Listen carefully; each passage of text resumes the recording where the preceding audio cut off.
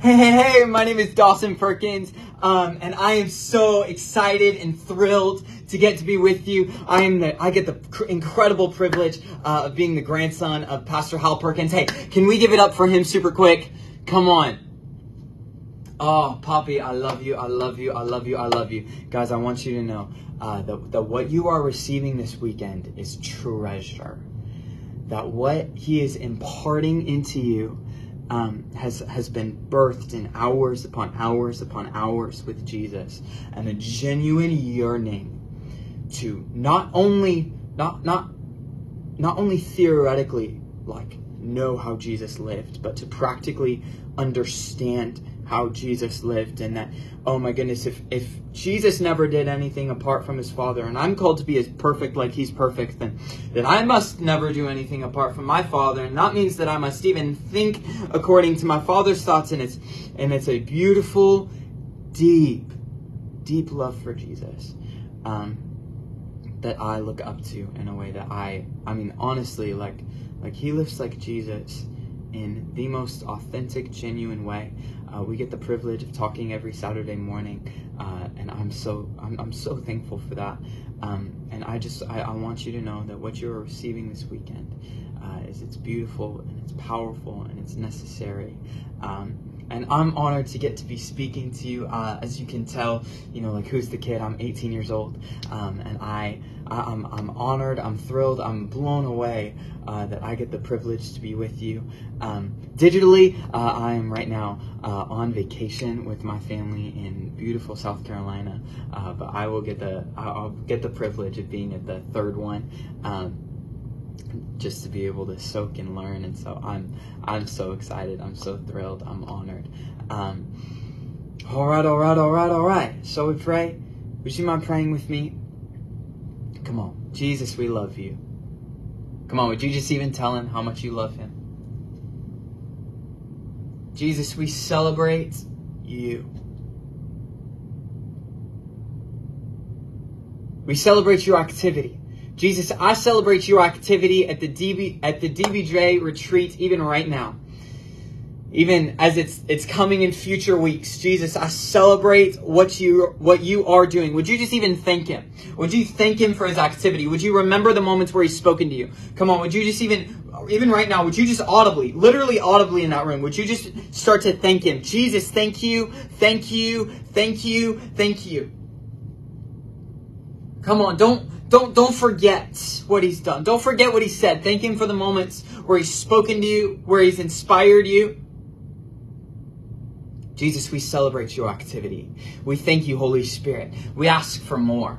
We ask for more in the name of Jesus. Come on, would you just even I, I I'm not fully sure how prayer works.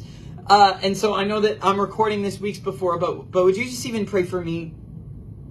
Would you just pray that I would effectively communicate the words of heaven to you. That even just like Jesus, I, I would say nothing of my own accord. Jesus, I, I, I don't want any message to come across except strictly what comes directly from your mouth. So if it's me, I ask Holy Spirit that you would get rid of it.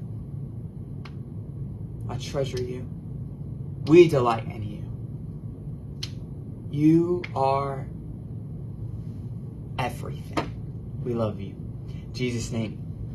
Amen, amen, amen, amen. Well, just a little bit about me. Uh, I am a pastor's kid. I'm a pastor's kid pastor's kid, pastor's kid, fourth generation pastor's kid, which is insane. Thank you, Jesus. I'm blown away. Uh, my grandpa raised my dad really, really, really, really, really well. Uh, he wrote a book called just, uh, "If Jesus Were a Parent." You know, he he had it figured out. I'm just kidding. Um, but literally, like, like, I mean, honestly, I, I grew up uh, watching my dad lead young people. Um, and he led a movement called Desperation in Colorado Springs. And so I grew up around that. And from my, my very earliest memories are, are watching my dad call young people to their knees. And as the, these teenagers with tears in their eyes as they give their lives to the Lord. And, and honestly, from, from a very early age, like three and four, thinking, man, I have to do that someday. Uh, which is really, really, really fun. And I'm so, so grateful for that. Um, and and and in uh, in 2016 we decided to move uh, to Kansas City because the Lord called us here to plant a church, uh, which has been beautiful. It's called Radiant Church. We've been able to see. I mean, honestly, I've watched Jesus take care of me in a way that I never even thought was possible, and it's been absolutely beautiful. Um, but I remember uh, when I when I was about when I was about 13 years old. Um, I, I, I had I had known that I was called to ministry for a long time and I had known that I was, you know, like, like, like, I, I had known every answer about Jesus. You know, not every answer. I hadn't been to seminary, you know, but compared to the other eight-year-olds around me, you know, like I, I knew every, uh, I knew every answer. I had everything down. I remember when I was 13 years old, though, I started to recognize that there was more, and I clearly didn't have it. Because when I would go into the secret place, I would think it was very boring. And when I read my Bible, it kind of just felt like a, a, really old book that I that I didn't understand. And when I went to church, people would often tell me because I would, you know, I I I tried to have this exterior up of of oh I want to go into ministry and man that's that's what I want to do and I had this this this exterior of loving Jesus while this interior is dead. And I remember people at church would be like, "Man, you know that that that prayer was anointed and oh you're anointed and oh the Lord's got a call on your life." And, and I almost came to the place where I started to doubt it. Because I was like, if you only knew how dead I was inside. If you only knew how, how not vibrant my relationship with the Lord is, how bored I am in the secret place, how I, I, I mean, I, I, I am bored by, by Christian music and I'm bored at church and I'm bored with sermons and I'm, and, and I, I ah, there's no way. And then I remember there was this prayer meeting and I walked into this prayer meeting, and I, I, I was leading it, um, which was crazy. It was at one of our conferences. It was a late night prayer meeting. It was right after a session, and I remember I'm walking through these doors, and and and I prayed to myself, and this prayer genuinely changed my life forever. Thank you, Jesus. I remember I, I looked at the Lord as I'm walking through the doors for the session, and I said, Jesus, if this is all that there is to Christianity, if all that there is is kind of this fake, like, exterior, outside, in, interior deadness. I mean, I had, I had preached about that. Like, like I had preached a sermon where I, I literally, I mean, I called it the greatest show after that movie. And I was like, you know, like, like oftentimes we have the greatest show going on on the outside while we're dead on the inside. And, and God wants us to take off the mask. And I literally, I mean, I remember I'm, I'm 14 years old at this point and, and I sit down and I, after preaching a sermon on being fake and sitting there and in the most condemning way, like awful possible, was just like to myself, like, you are the fakest person in this room. And I just remember this guilt and the shame of, oh. And so I walked in the doors. Jesus, if this is all that there is to Christianity, then that's great. Thank you. But if there's more, then I want every ounce that I can get session happened, repeated the prayer as I walked into the prayer meeting. And um, I, it, it, was June 2, 23rd, 2020. Um, at this point, I was 15. It was four days before my 16th birthday. And um, I, I, I'm still looking for words to describe it because the power of the Lord fell in that room in such a beautiful way to me. I'll watch it back. It was I, I, did not lead well, but the Lord was touching me. Um, and uh, but but literally, I, I remember sitting there, and it, and it, was like His presence was right there. Like I could reach out and I could touch it, and like like like, like you know like like it like it was the mountain from me. Like it was the moment where everything changed. And literally, you can ask any single one of my friends. I was a different person in 24 hours. I went from being a jerk where all of this deadness inside had started to come out, and, and I still had this mask of, of, of trying to be the church kid, but honestly kind of failing. And, and I remember there was this moment, and my life got flipped around in a moment, and I fell in love with prayer meetings.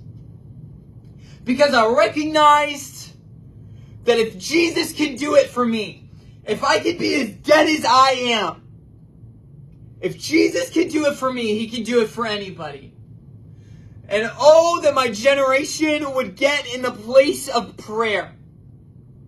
And so that is honestly, I, I have so much respect for you. And I wish you could know how much we need you. And this is not me just talking to a camera like, like, like, like, like coming up with words. Like, I am honestly burdened and I'm so grateful that you are doing what you are doing this week. Because when you teach people to engage with prayer, lives get flipped around.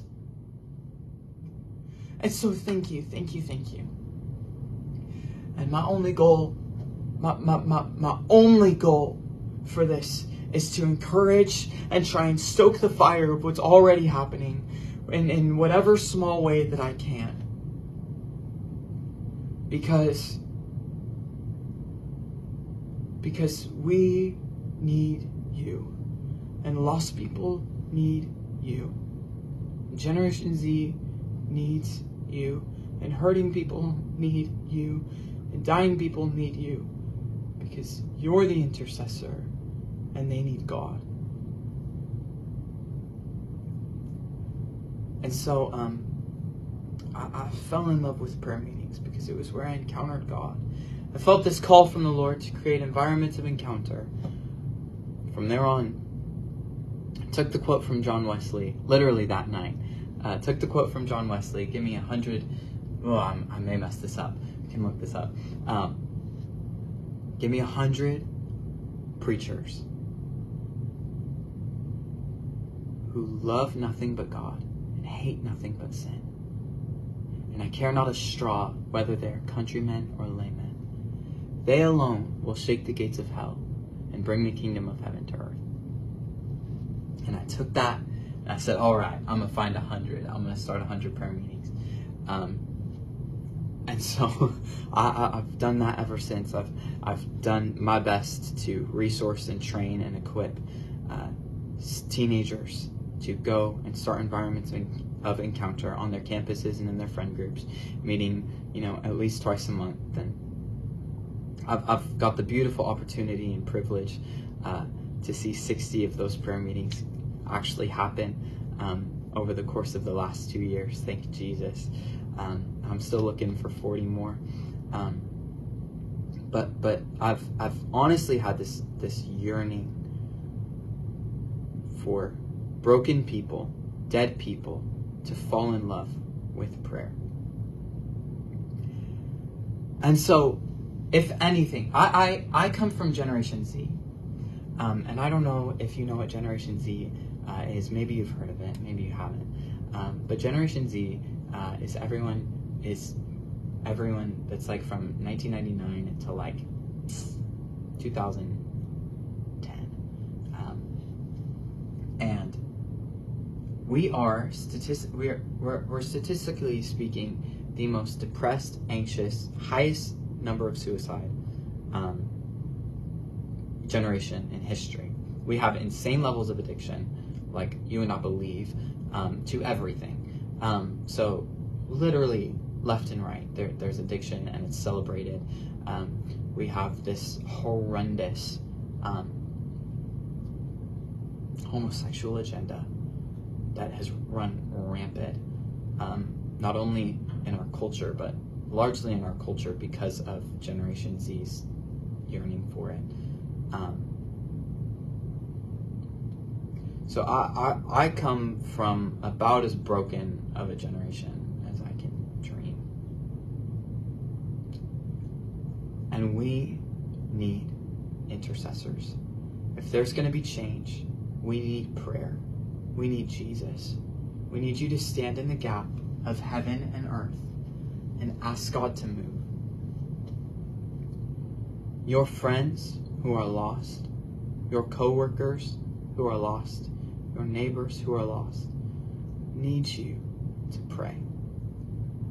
And so there are a hundred, a hundred beautiful messages on, I mean, on, on, on, on every type of prayer, on devotional prayer, which I thank Jesus for. Like, go to the secret place. Please, please, please, please, please, please, please. Intercede in the secret place. Please, please, please, please, please. But I want to talk to you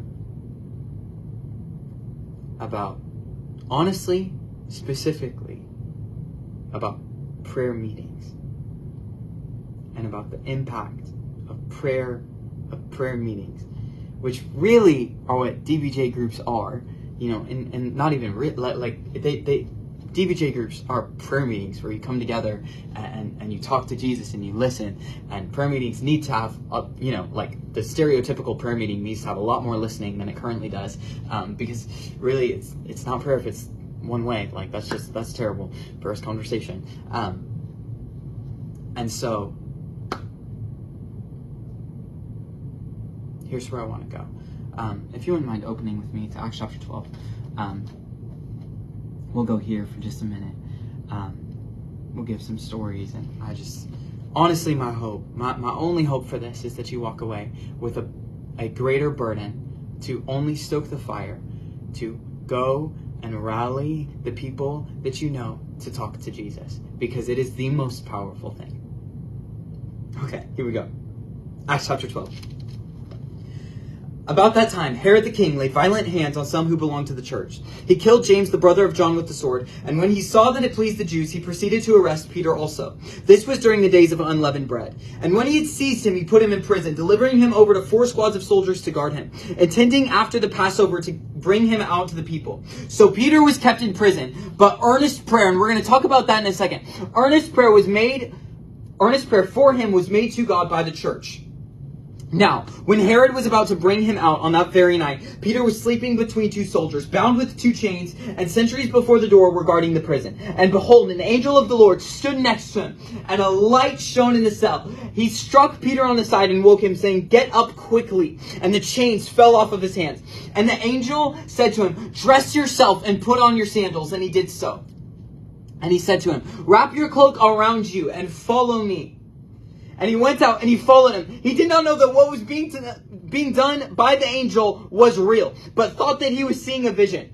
When they passed the first and second guard, they came to the iron gate leading to the city. It opened for them of its own accord. And he went out and went along the street, and immediately the angel left him. When Peter came to himself, he said, Now I am sure that the Lord has sent his angel and rescued me from the hand of Herod and from all that the Jewish people were expecting. When he realized this, he went to the house of Mary, the mother of John, whose other name was Mark, where many were gathered together and were praying. And when he knocked, when he knocked at the door of the gateway, a servant girl named Rhoda came to answer. Recognizing Peter's voice in her joy, she did not open the gate but ran in and reported that Peter was standing at the gate. They said to her, You are out of your mind, but she kept insisting that it was so. And they kept saying, It is his angel. But Peter continued knocking, and when they opened, they saw him and were amazed. But motioning to them to, with his hand to be silent, he described to them how the Lord had brought him out of the prison. And he said, Tell these things to James and to the brothers. Then he departed and went to another place.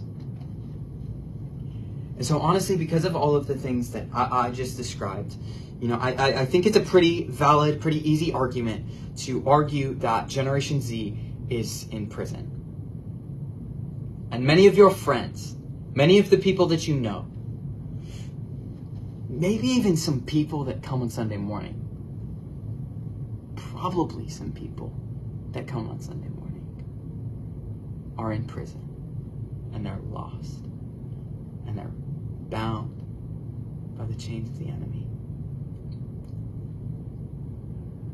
And I just want to tell you that prayer works. And, and, and honestly, what, what, what I got from this text is as I come to you as a young person, asking you to pray not only for, but honestly asking you to pray with our generation, for our generation.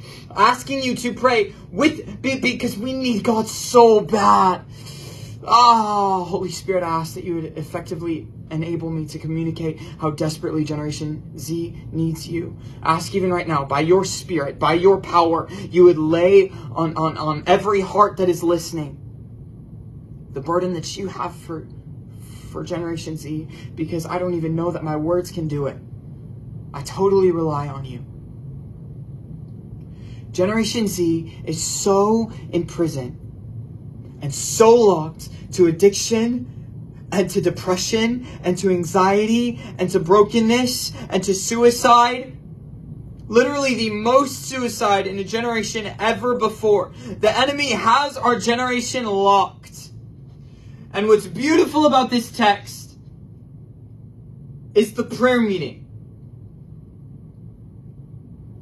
Because I, I, I think if you look at this girl Rhoda, the servant girl, which is the same word that the, the Greek word is the word for damsel, right? And which is which is really interesting because that's the same word uh, that talks about the twelve year old that Jesus goes and heals, right? The twelve year old girl, and and so so so so we think Rhoda is. I mean, I mean, according to the fact that she was a servant, we think she was probably about 15 years old, based on that word and her position uh, in the household. Um, we think that she was about 15 years old. She could have been you know, 12 to, to, to probably 17, around that. Uh, I like going with, fif- with 15 because it was about 15 years earlier uh, that Jesus ascended uh, into heaven. And so, and so her whole childhood, you know, no, no matter which age she actually is, you know, and, and give or take a couple years, no matter, no, no matter how old she actually is, her entire childhood is watching the early church grow and her entire childhood. I'm, i mean, I think if I've got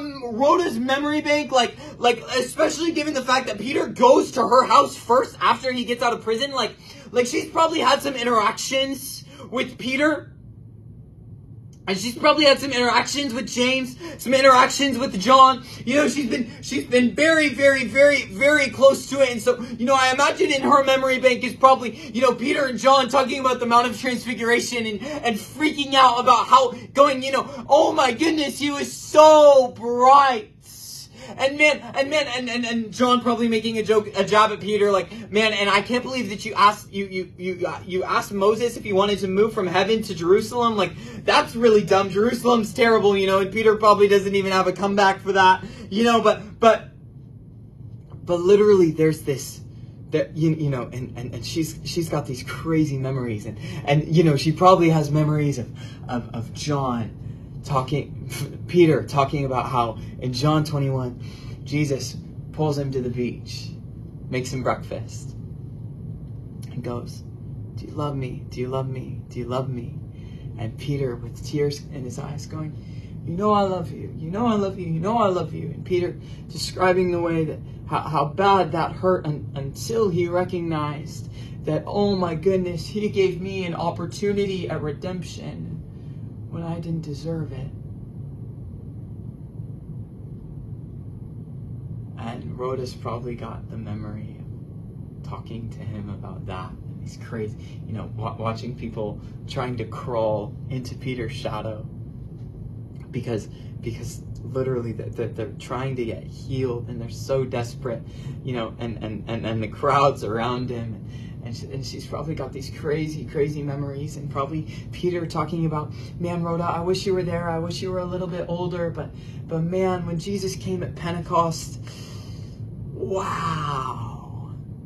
I mean, I, I went out and there were Medes and there were Persians and there was everyone was there and, and, and, my voice went out and, and everyone could understand and we all started talking in tongues and and and and, and, and everything I, I mean I, I don't know how to describe it. And then there was there, there was fire above each of our heads and uh, ah, and Rhoda going, oh my goodness, I wish I was there. And, and you know, probably some of the prayer meetings that she's been a part of where, she, where Peter's like, man, that felt just like it. That felt just like Pentecost. How's that feel? You know, and as a little girl jumping up and down and, and, and she's probably got these pretty, pretty, pretty crazy memories. And, and, and, and, and, out, and up until this point, she probably doesn't have a whole lot of memories of, of, of, of, of, of death. Because yes, there's been persecution. In fact, there was such persecution that she probably actually has memories of, of being scared because it talks about the way that her house is in Jerusalem and, and how everyone had left Jerusalem. And so, and so the, the, the, the way that, you know, she's still there and man, that's kind of scary because everyone's leaving because there's so much persecution and, and, and then, and, mm, and, and then, and then she's probably got some, some, some, some sadness, you know, over the stoning of Stephen. Pro- probably not a whole lot, you know, because like, I, I mean, you know, we, we don't know how, I mean, you know, we don't know a lot of this, but, but, but we don't know how close they were. And, and, you know, Stephen wasn't even one of the 12. And so that's, but, but James has got to be a little different because James is one of the three. And, and, and the early church still has a long way to go, you know, like, like when we look at the story of Acts, you know, like, like, like the, the early church has a long way to go and the heartbreak of, oh, James is imprisoned. Ah. Tried. Convicted. Trial didn't go well. He's gonna die. Ah, dead. Ah. And the heartbreak. She probably knows him. And then, not long after, the even greater level, as you hear the same thing with Peter.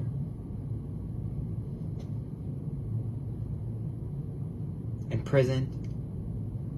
Oh, what?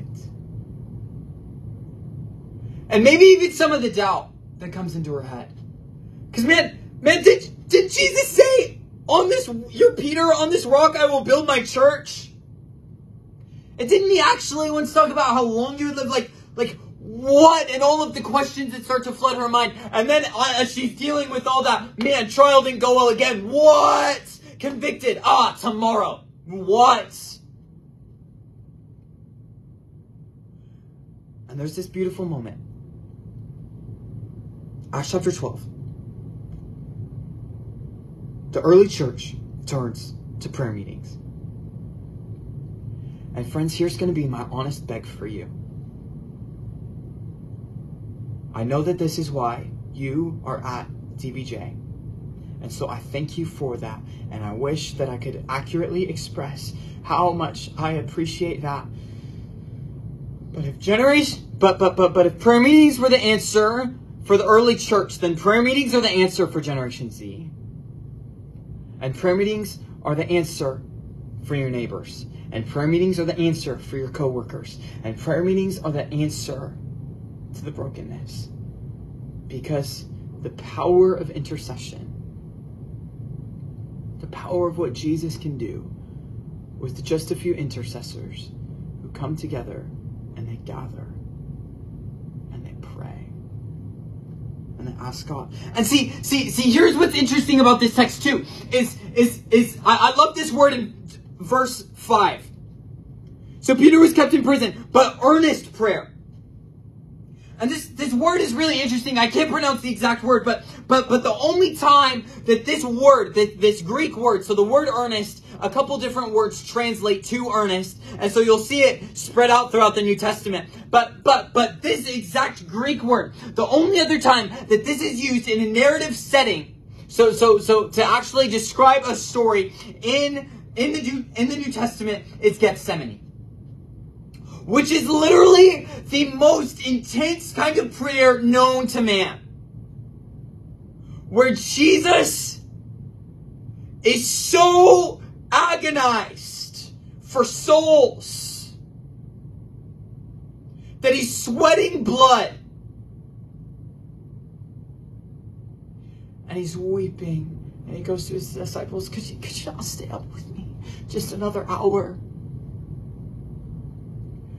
And it is it is the most intense kind of prayer known to man. In fact, during the Welsh revival, um, there, there's this beautiful story and, and very very intense, very very very heavy story um, about the, the leader of the Welsh revival. His name was Evan Roberts, and and it's a beautiful it's, beautiful revival. Uh, there were over hundred thousand salvations. If you have researched that, it's insane, and you probably know more than I do. Uh, if you um, if you haven't, you should go research it because it rocked my world. Um, but but there's this intense story um, uh, about one night during the revival, the leader Evan Roberts um, was so agonized, so so agonized for souls that he and and I that that that he asked for. He called it the groans of Gethsemane. And literally, there's this story about how on one night of the revival, he asks for the groans of Gethsemane. And eyewitness accounts call it like the most soul anguishing pain they'd ever seen. As Roberts is on the floor, weeping, uncontrollably weeping.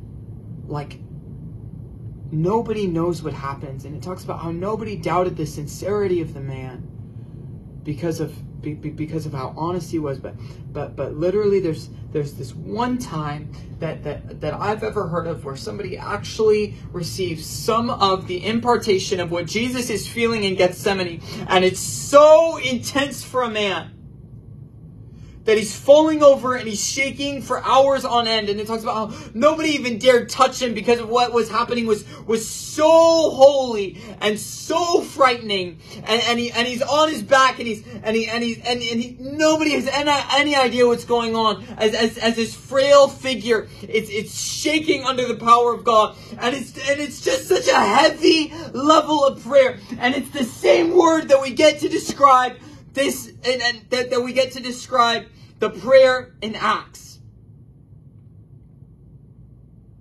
And I think so often it's easy for you and for me, maybe maybe just maybe just for me, but but but but to to, to literally to to pray these cute Oh God, would you touch the and and and not pray from a place of anguish inside of you. And I think what I would ask of you is that you would earnestly pray. That you would earnestly, longingly, desperately ask God for his heart for those around you. Because part of being close to a person is to care about what they care about. And even in Jeremiah, we literally get this book of this weeping prophet who's revealing to us a weeping God. God who cries over his people.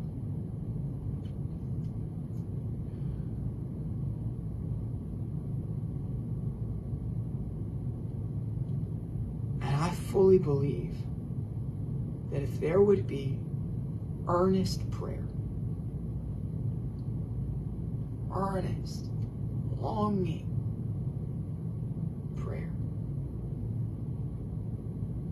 intercession, we would actually see a change in the world like we've never seen before.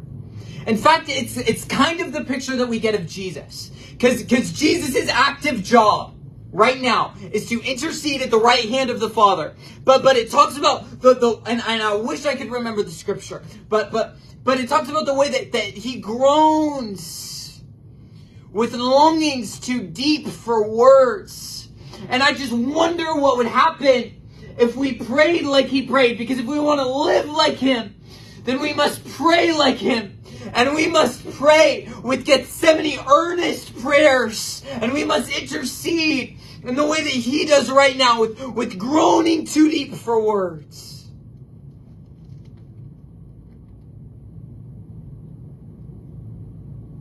And I find this beautiful because what happens here is that prisons break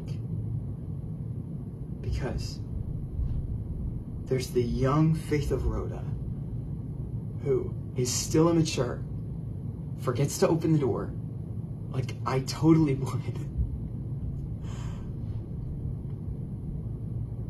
And the faith of the mother, and the faith of the people that were there.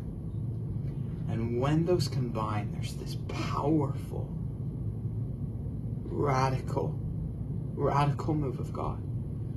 And I believe that we can see that today. It's just going to take intercessors who pray.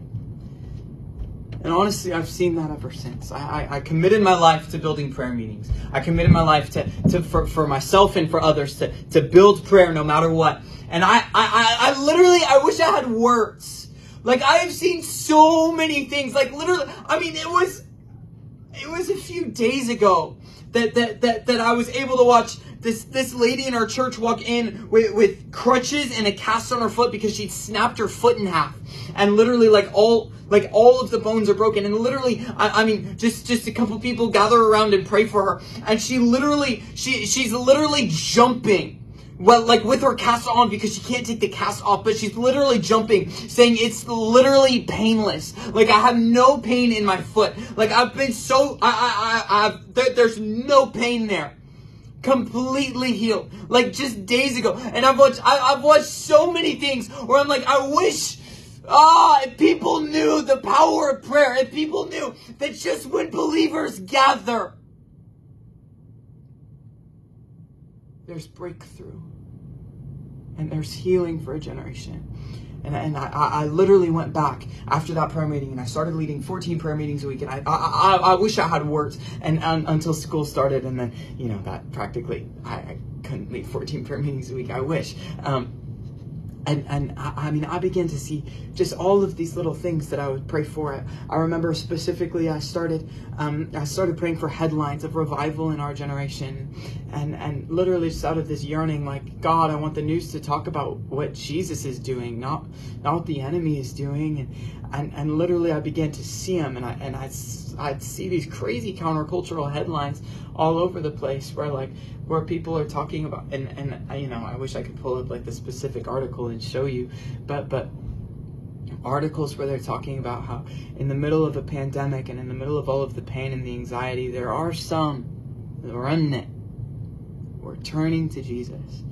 I remember weeping and uh, some of my favorite stories um, I'm sure you know this next one in just a second. Some of my favorite stories. Uh, I um, I, I honest, I, I beautiful story actually. Um, I I fasted for 40 days for male teenager friends who were chasing Jesus like crazy. Um, and literally on day 40, I meet this guy named Asher Bird who flew in from Hawaii, um, which thank you, Jesus. And literally we get this, we, we get burgers together and it's beautiful. And he's like, hey, I want to start a prayer meeting. I'm like, oh, sick, let's go. And so he rallies some of his friends um, who all love Jesus desperately. And it was this wide open door to a whole bunch of people who radically love Jesus. And I thank Jesus for that. And one of these guys on the prayer meetings, his name is Jimmy. And Jimmy, we got on the prayer meeting, and this guy loves Jesus. Like, this guy's praying. The only weird piece for me was Jimmy, Jimmy sounded like this. Like, I got on the prayer call, and I kid you not, Jimmy's like, oh my goodness, where's Asher? Like, what's what's going on? You know? And then he starts praying and he's like, Jesus asked for revival. And literally, literally like, and, and I was like, oh my goodness, okay, well, interesting, you know? And literally like, but this guy, this guy loves Jesus like few people I've ever seen in my whole life. And, and literally like, I, I mean, we began to, to, to text a little bit, and honestly, like, I mean, the way that he, he loves Jesus is the most inspiring thing, and I began to learn of his secret place life. And then I went to this uh, summer camp uh, that summer. Uh, so it was February. That summer, I went to this summer camp in Kona, Hawaii, uh, and, and I got to meet Jimmy, and, you know, we, he was telling me his testimony in the car, and he's telling me stories of like 100 salvation, 130 salvations on his public high school campus in Los Angeles, um, and how all of his all of these friends are getting saved. And he's talking to me like this the whole time. And and we're in the car, and I'm like, great, this guy loves Jesus. And literally, literally. So, so, so, so the doctors had told him if your voice doesn't change by the time that you are 15 years old, it will never change. He's 17 at this point. Um, they said it, it, your your vocal your vocal cords like they you they they don't change after the time that you're 15 and he's like okay. And so literally like he's talked like this his whole life. The doctors say there's no way that it, it will ever be fixed. And literally on the second night of camp we're in this worship set and the lord tells him not to talk. And he's like great. So he doesn't talk. And literally like i watch my friends like bump him you know to like make jokes during the sermon and he doesn't respond. And it was like okay. Um and literally i remember this moment where I I I look up during the worship set. Jimmy, people are freaking out around Jimmy. Jimmy gets on stage and goes, I don't know what's happening. And literally, like the room erupts. And literally, I mean, Jimmy's voice is completely healed in a moment like that. His voice is literally deeper than mine now. And like the fear of God falls on the room. And I just remember this moment of like, oh my goodness what happens when I'm in the presence of God, what happens when you're here. And we literally, we went and we worshiped for hours on end in this little room with this piano as Jimmy leads us in worship with his new voice and like his voice is cracking, you know, and it's just like this beautiful moment. We're like, oh my goodness, God, you couldn't be more real. Like, oh my goodness, what happens when we pray? And I remember another one of my favorite moments. Um, just just before that actually um, was I was um, and I'm so happy that my grandpa gave me permission to tell this story. but I remember I remember it was about October of 2020. Uh, so I had been really following Jesus for about three months. Um, and I remember I remember there was this one night and um, I can't exactly remember. I, I think I was like sitting talking with a friend or something, and my phone starts blowing up in my pocket.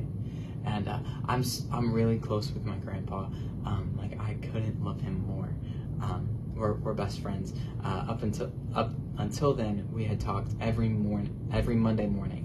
Um, about Jesus, and I, am so thankful for the discipleship uh, and the, the disciple maker that He has been to me, and He has turned me into a disciple maker, and I'm forever grateful. Um, and literally, like, so it's a Monday night, and Monday morning he had texted me and said, "Hey, I can't call. It's the first time he's canceled for health reasons ever." Um, and literally, like, I'm like, "Okay, great, weird." Um, I'm sure he's fine. Like, it just talks about a cough. Like, I'm sure he'll be fine. And then I remember, like, that night, my phone starts blowing up in my pocket. And I'm watching these texts come in. And I learn that that my grandpa is in the hospital.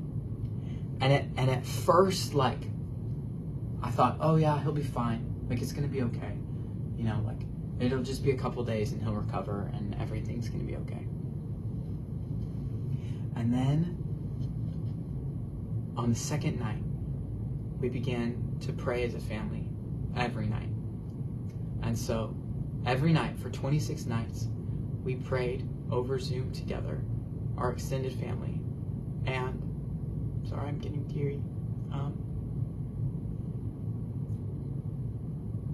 and Poppy's in the hospital and um, the news just gets worse and worse and worse and worse and worse and worse and worse.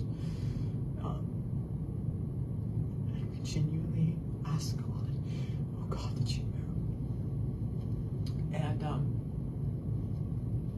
it gets so bad to where the doctors say there is a 99.9% chance that he dies. They're, they're, they're, they're, if if he ever goes home, which there's there's barely a chance that he will. If he ever goes home, we will literally have to create a hospital in your house because there's this jet engine that currently is I think it's 85. He may have to correct me in a second. There, there's this literally it looks like a jet engine that's giving him oxygen.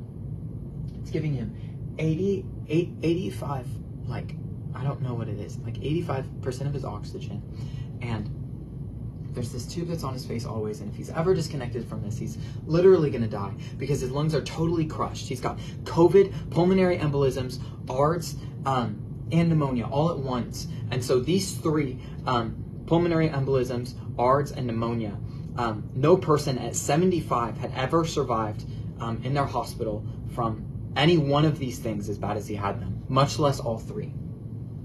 And so we're, we're, we're getting there, and, and, and about day 24, we start talking funeral arrangements. Day 25 was the day where they were like, this is probably it. We're going to move him to comfort care. And um, that's going to be it. And I remember I have never had such a high level of angst in my life. I remember my grandpa doesn't even remember this. I was actually like in this basement, like right there. And um, I had what was supposed to be my final call with my grandpa. He doesn't even remember it. He was so, so fogged. I, have I've never seen someone so persist- persistently love Jesus, though. He got on every night to that prayer meeting, and all he would talk about is the way that Jesus and he had talked all night the night before because he couldn't sleep. I'm telling you, what you're learning is treasure.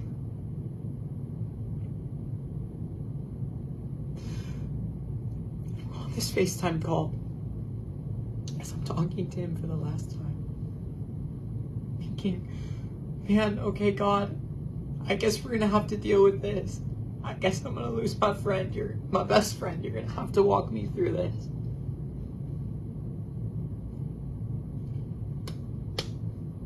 Never cried one. And literally, that night, we have this prayer meeting. And this was, at the beginning, this was the most lame prayer meeting I've ever been a part of because we tossed up these terribly cute, like, powerless, gross prayers. We're literally just like, not gross prayer, all prayer is powerful, but, but we're praying with such a lack of faith. I mean, we're praying, God, would you give us comfort? God, would you help? Would you give Poppy peace? As, as we're kind of accepting, like, okay, we made the funeral arrangements, like, this is this was really the night of acceptance. And I remember I remember we're on this Zoom call as we're praying these little cute prayers. And I remember my Uncle Dan coming on and he says, he says, and I will, I, I, I, uh, man, I will forever respect him like a bajillion times more for this moment. Not to imply that I didn't before, but literally, he gets on the call and he goes, What are we doing? Do we not pray to Yahweh at this prayer meeting? And literally, I mean, I, and, and, he goes, "What? What do you mean? Like if he can just and stars? Like, d- d- does he not long to heal? Like, is that not what he wants?" And so, if we're praying for His will, why don't we? Why, why don't we seriously ask Him? And we began to pray, and it was like earnest prayer. And I've never been a part of a more earnest prayer meeting in my whole entire life, as we genuinely just asked God and yearned for healing. And I don't know what to tell you happened between 10 p.m. that night and 10 a.m. the next day, but 10 a.m. the next day, I start getting these text messages pouring in on my phone as my grandma goes, guys, guys, guys, guys, guys, guys, for the first time ever, he's at 75. He's at 65. He's at 55. He's at 50. He's at 40. He's at 30. He's at 20. He's at 5 liters of oxygen. He is going to walk out of here. And literally, just like these completely new lungs, I'm like, oh my goodness, thank you, Jesus. I remember I run up and I just hugged my dad and we just wept together because literally there's this insane, and, and, and I'm just telling you, and, and, and literally, like, within the next couple weeks, like, he was completely off of it within like two months. Within three months, he, he walked just as much as I did. Three and a half, he walked like two or three times more than I did every day as he's like restoring his lungs. And literally the Lord just like gave him new lungs because they said that they were totally crushed and it'll never happen. And I'm just telling you, like I've seen prayer work and all I did was to come tell you, like, oh my goodness, that you would go and you'd rally people around talking to Jesus. It is the most powerful thing on planet Earth. And I'm not screaming because he needs my volume. I'm screaming because he needs my volume. I'm genuinely, it is genuinely the passion of my life. And I am yearning that you two would gather and you would pray with earnest prayer with young people for there to be no no prisons. I am telling you revival like what we read about with Azusa and Wales and the Moravians it's possible. It's just going to take intercessors. And it's our turn to be the ones in the prayer meeting who earnestly pray. Who say, you know what? I've seen you be good. I'll see you be good again. And I've seen stuff ever since I decided to set my life towards prayer and knowing Jesus. And you will too. You'll see a hundred times what I've seen. So would you just even pray with me now?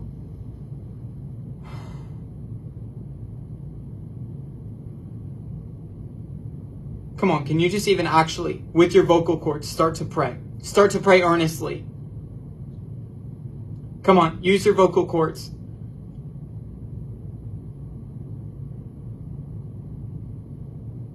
God, we need you. Would you even start to name the people who need him?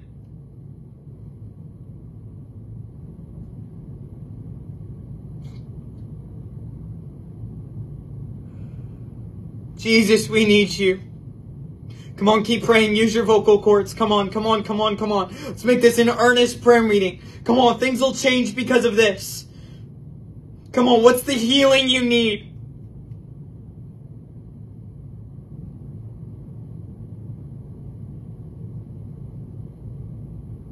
Jesus, we need you.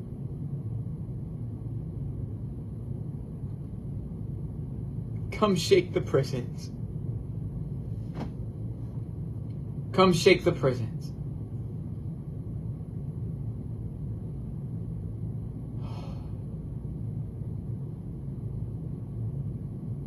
Jesus, we delight in you. We need you. Come on, keep going, keep going.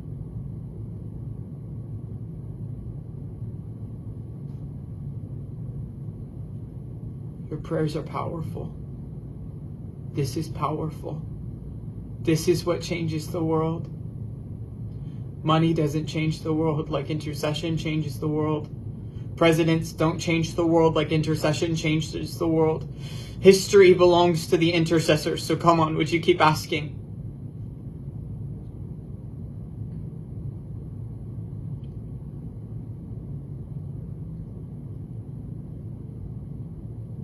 Would you just ask God? for a burden. Ask Him for a burden to lead people to pray, to get to know His heart. In intercession, you will get to know the heart of God. In intercession, even Moses, literally, at his intercession, multiple times, God spares the people of Israel because of Moses' intercession. Moses, I mean, outside of Jesus, was, you know, I mean, one of the most powerful intercessors that we get to see in Scripture. And he knew Jesus so deeply. He knew the heart of God. God actually brags on their friendship. Numbers chapter 12. Jesus, we want to know you. And our goal is for us to know you, for them to know you. So we will be disciples that make disciples.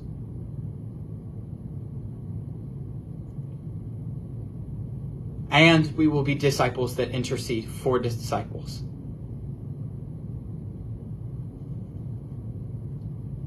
We want to follow you.